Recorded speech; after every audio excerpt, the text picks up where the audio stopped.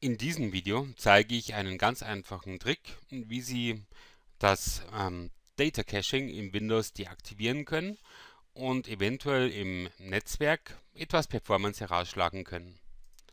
Dazu möchte ich ganz kurz SMB2 und Windows 7, 8, wie auch immer das heißt, wenn Sie das mal bei Google eingeben, finden Sie diverse Informationen über das SMB2-Protokoll, das für das Cachen von Daten im Netzwerkbetrieb zu, zuständig und äh, verantwortlich ist.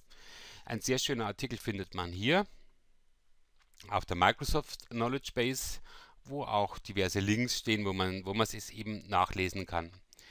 Ich möchte das hier etwas komprimiert ähm, Ihnen näher bringen und zwar SMB2, SMB1 und SMB3 Protokolle, je nach Betriebssystem wohlgemerkt, sind für Netzwerkkommunikation, Data Caching und so weiter zuständig.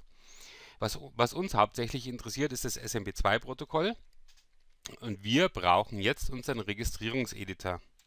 Ich sage regedit, lassen wir den ausführen und wir sind jetzt nun im Registrierungseditor. Also das heißt, geben Sie in Ihre Kommandozeile, wenn Sie Windows 7 oder früher verwenden, regedit ein, R-E-G-E-D-D, E-D-I-T ein, also für Edit, regedit oder Windows 8, Windows-Taste regedit, Enter, fertig.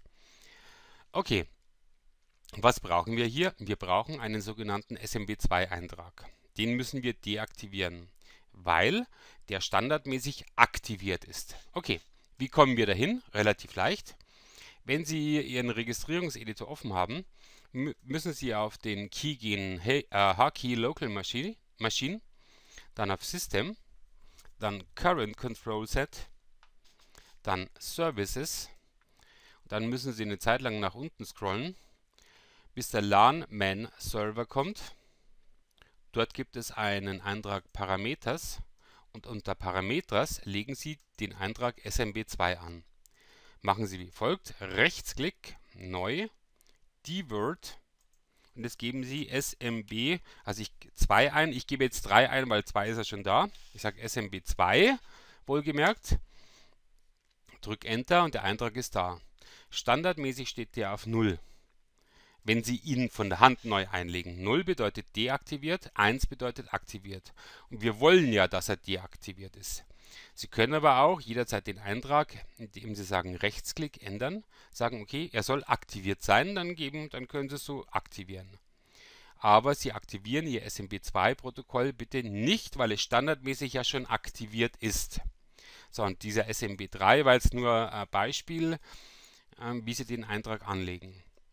Danach, und das sollten Sie bitte auf allen Rechnern im Netzwerk tun, danach ähm, starten Sie Ihre Rechner neu und versuchen erneut oder machen Ihre Tests erneut im Netzwerk, um festzustellen, ob äh, das Anlegen dieses oder das Deaktivieren dieses Caching-Moduls von Windows Performance-Geschwindigkeit oder Performance Plus gebracht hat.